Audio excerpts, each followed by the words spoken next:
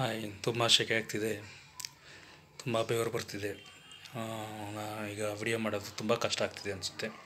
Okay ನನ್ನ ಪ್ರೀತಿ ವಿದ್ಯಾರ್ಥಿಗಳೇ, ಇವತ್ತು ಏನು ವಿಡಿಯೋ ಮಾಡಿಕೊಟ್ಟಿದ್ದೀನಿ ಅಂದರೆ ಡೆಸರ್ಟಿಫಿಕೇಷನ್ ಬಗ್ಗೆ ವಿಡಿಯೋ ಮಾಡಿಕೊಟ್ಟಿದ್ದೀನಿ. ಸೊ ಡೆಸರ್ಟಿಫಿಕೇಷನ್ ಒನ್ ಬೈ ಹೋಗೋಣ ಸೊ ಡೆಸರ್ಟಿಫಿಕೇಷನ್ ಯಾರು ಬಳಕೆಗೆ ತಂದರು, ಯಾವಾಗ ಬಳಕೆಗೆ ತಂದರು? ಸೊ ಡೆಸರ್ಟಿಫಿಕೇಷನ್ ಅಂದರೆ ಏನು? ಡೆಸರ್ಟಿಫಿಕೇಷನ್ನ ಯಾವ ರೀತಿ ತಡೆಗಟ್ಬೋದು ಅಂತ ಒನ್ ಬೈ ಒನ್ ಹೋಗೋಣ. ಒಂದು ಕತೆ ಹೇಳ್ದಂಗೆ ಹೇಳ್ಕೊಂಡು ಹೋಗೋಣ. ಎ ಕೆ ಅಬ್ರಿವಿಲ್ ಅಂತ ನೈನ್ಟೀನ್ ಫಾರ್ಟಿ ನೈನಲ್ಲಿ ಅವನು ಇದು ಈ ಪದವನ್ನು ಬಳಕೆಗೆ ತರ್ತಾನೆ. ಬಳಕೆಗೆ ತರ್ತಾನೆ. ಅದು ಎಲ್ಲಿಂದ ಸ್ಟಾರ್ಟ್ ಆಗ್ತು ಅಂದರೆ ನಾರ್ತ್ ಆಫ್ರಿಕಾ, ಉತ್ತರ ಆಫ್ರಿಕಾದ ದಕ್ಷಿಣ ದಿಕ್ಕಿಗೆ ಸಹಾರ ಮರುಭೂಮಿ ಇದೆ. ಆ ನಾರ್ತ್ ಸೈಡಲ್ಲಿ ಏನು ಭೂಮಿ ಇದೆ? ಸ್ಟೇಬಲ್ ಲ್ಯಾಂಡ್ ಇದೆ. ಅದನ್ನು ನಾವೇನಂತ ಕರಿತೀವಿ ಅಂದರೆ ಸಹೇಲ್ ಅಂತ ಕರಿತೀವಿ. ಇನ್ನು ಸೌತ್ ಸೈಡ್ಗಿರೋಂಥ ಭೂಮಿ ಏನಿದೆ ಅದನ್ನು ಸವನ್ ಅಂತ ಕರಿತೀವಿ.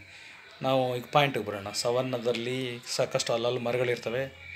ವಾರ್ಷಿಕವಾಗಿ ಒಂದೆರಡು ತಿಂಗಳು ಮಳೆ ಬೀಳುತ್ತೆ, ಉಷ್ಣಾಂಶ ಜಾಸ್ತಿ ಇರುತ್ತೆ.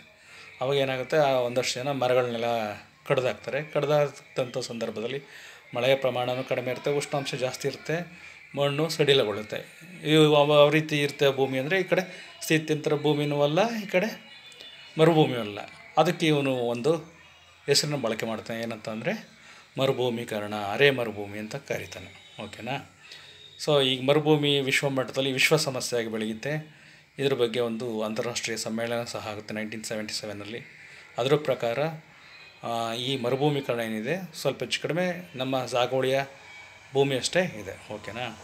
ಈ ಮರುಭೂಮೀಕರಣಕ್ಕೆ ಕಾರಣಗಳೇನು ಪ್ರಮುಖವಾಗಿ? ಪ್ರಮುಖವಾಗಿ ಕಾರಣಗಳೇನೆಂದರೆ ವಾಯುಗುಣ ಅಂಶಗಳು ಮಾನವಿಕ ಅಂಶಗಳು. ಕ್ಲೈಮೆಟಿಕ್ ಪಾಯಿಂಟ್ಸ್ ಆಗ್ಬೋದು ಹ್ಯುಮ್ಯಾನಿಟಿ ಪಾಯಿಂಟ್ಸ್ ಆಗ್ಬೋದು. ಸೊ ವಾಯುಗುಣ ಅಂಶಗಳು ಅಂದ ತಕ್ಷಣ ಏನು ಹೇಳ್ಬೋದು ಮಳೆಯ ಪ್ರಮಾಣ ಕರ್ಮ, ಕಡಿಮೆ ಇರುತ್ತೆ, ಉಷ್ಣಾಂಶ ಜಾಸ್ತಿ ಇರುತ್ತೆ. ಯೂಶ್ವಲಿ ಮೇಲ್ಪದರದಲ್ಲಿ ಏನಾಗುತ್ತೆ ಫರ್ಟೈಲ್ ಲ್ಯಾಂಡ್ ಇರುತ್ತೆ. ಫರ್ಟೈಲ್ ಲ್ಯಾಂಡಲ್ಲಿ ಗಟ್ಟಿ ಭೂಮಿ ಇರುತ್ತೆ, ಭೂಮಿಯಲ್ಲಿ.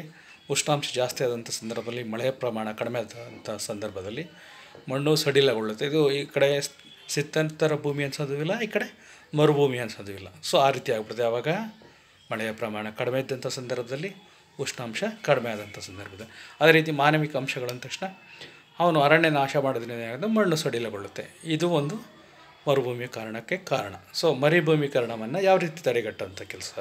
ಯಾವ ರೀತಿ ತಡೆಗೋದು ಯೂಶ್ವಲಿ ತಡೆಗಟ್ಟಬೇಕು ಅಂದರೆ ನಾವು ಅರಣ್ಯ ನಾಶವನ್ನು ತಡೆಗಟ್ಟ ನಿಲ್ಲಿಸಬೇಕು ಅದೇ ರೀತಿ ಅರಣ್ಯೀಕರಣಕ್ಕೆ ಒತ್ತು ಕೊಡೋಂಥ ಕೆಲಸ ಆಗ್ಬೋದು.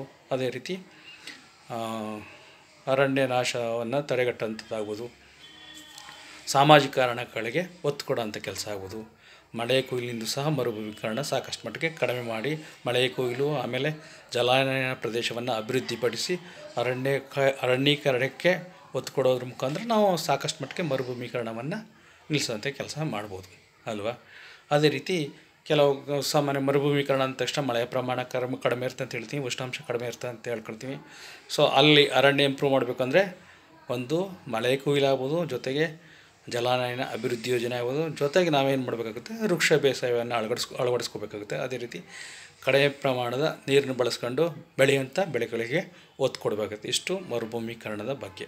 Okay thank you so much ನನ್ನ ಪ್ರೀತಿ ವಿದ್ಯಾರ್ಥಿಗಳೇ.